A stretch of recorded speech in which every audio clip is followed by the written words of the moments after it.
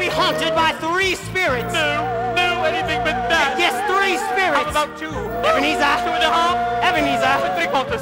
Enough. Expect the first spirit when the clock strikes one. I am the spirit of Christmas past. That's me, Belle.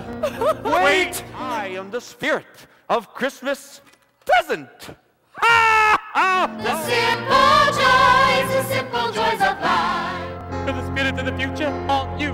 The tight fisted